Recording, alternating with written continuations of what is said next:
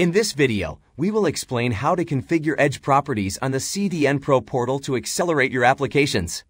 A property contains the configurations that will be deployed to the CDN Pro Edge servers. It includes the host names to be accelerated, the information about the origins from where content will be fetched, HTTP request and response modification rules, caching policy, and so on. Let's get started by creating a new property. Let's assume your application uses a CDN domain called myapp.property.digital to load contents from two different origins based on the value of the request header X origin. Origin 1 serves general contents and has a special directory with sensitive data that you want to bypass caching completely.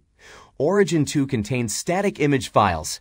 You will need to modify the requesting URI by adding an extra root folder slash images to access the static image files.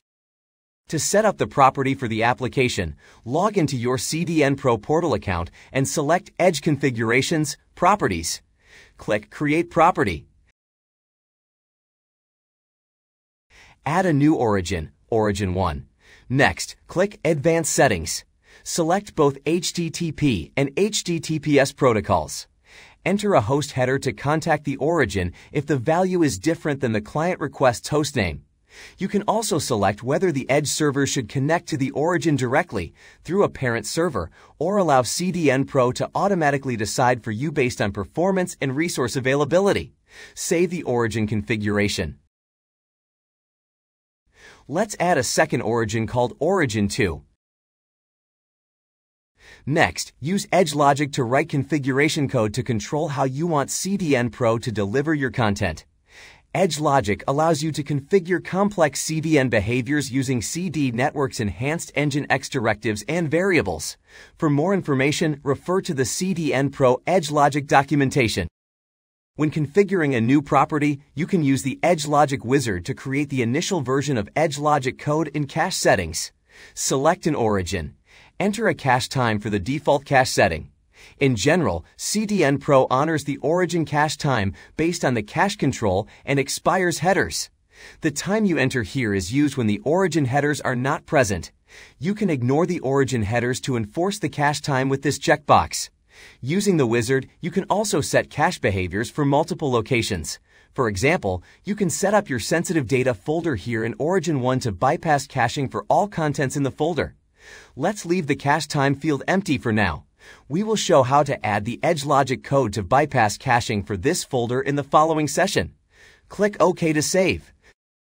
In the Edge Logic editor, you can see the baseline configuration that the wizard just generated. Under the hood, Edge Logic is part of the server block generated for Nginx.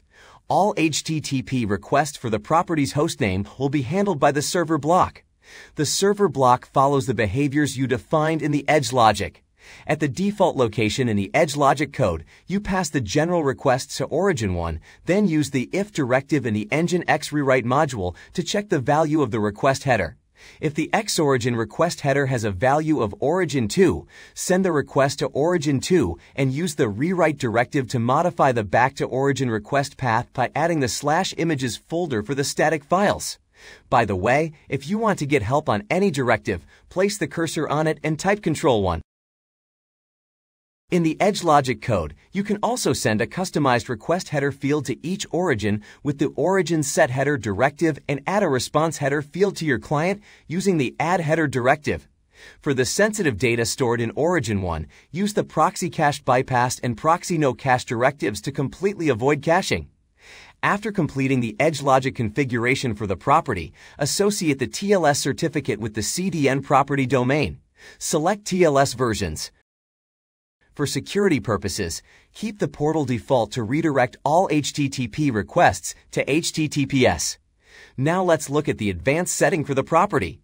By default, CDN Pro uses the request host header in the cache key. You can override the default with a different host name. CDN Pro supports HTTP 2 as the protocol between edge servers and your clients. You can disable it if needed. Now we are done with the property configurations. Let's save validate, and deploy the configuration to the staging servers. As a best practice, it's important to test your configuration in a staging environment before deploying to production. You can query staging.qtlcdn.com to get all the CDN Pro staging IP addresses. You can pick anyone to use with the curl commands resolve option for this exercise. Let's first try to request an object from Origin One. Previously, we used the header XMSG2 client to identify the response origin. The response header confirms the content is from the origin one. You can also use a curl command with a request header xorigin to test and get an image file from origin 2. The static file logo to PNG is returned properly from origin 2. Finally, request a file from the sensitive data folder in Origin 1. CDN Pro received the response from Origin 1 and bypassed caching the content as indicated by the cache status. That's it. For details on how to configure CDN Pro for your site, visit docs.cdnetworks.com. Stay tuned for more videos. Thank you for watching.